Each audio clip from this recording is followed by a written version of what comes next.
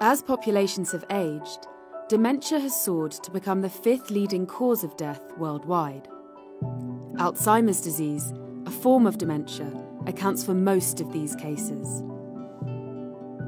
Tens of billions of dollars have been spent on Alzheimer's research over the past several decades. But still, there is no cure. All attempts to halt the progression of the disease have failed.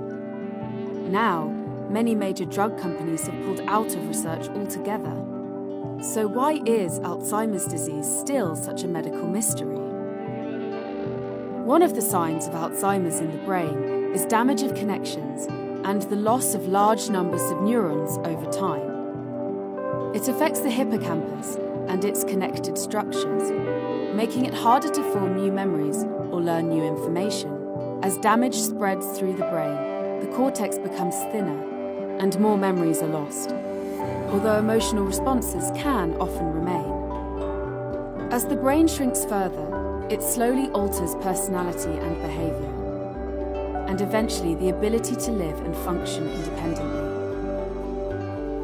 For 35 years, there's been scientific disagreement about the origins of the disease. The main area of debate has focused on the abnormal buildup of clumps of protein, called amyloid plaques, often found in brains of those affected by Alzheimer's. But all attempts to target this protein with drugs have failed. A new study is now challenging the way science thinks about the disease.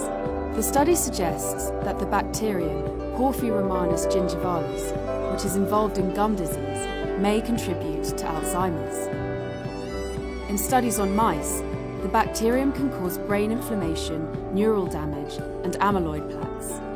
The researchers went on to show in mice this damage could be stopped using drugs that target the toxic enzymes.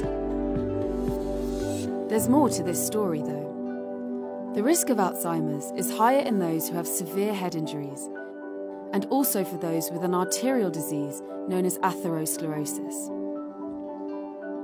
This suggests there are many causes with one endpoint, and scientists hope that finding an underlying cause that could tie these together will hold the key to better treatments in the future.